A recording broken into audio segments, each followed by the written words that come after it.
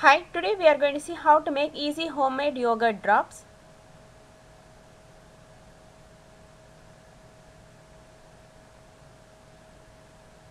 The ingredients required are yogurt, you can take any flavor or even plain Greek yogurt and take it in a ziploc pouch and make a cone like this and squeeze a little bit like this like little drops and freeze it for 1 hour and you can see after 1 hour you get these yogurt drops.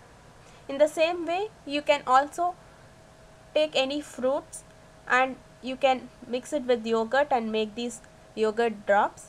So, I am taking blueberry, take a toothpick and insert it to the blueberry and dip the blueberry in the yogurt, coat it well on all the sides and using another toothpick just drop it on the plate and freeze it for 1 hour. And this way you can easily make yogurt drops with fruits or the plain ones. And you can see now the yogurt drops is now ready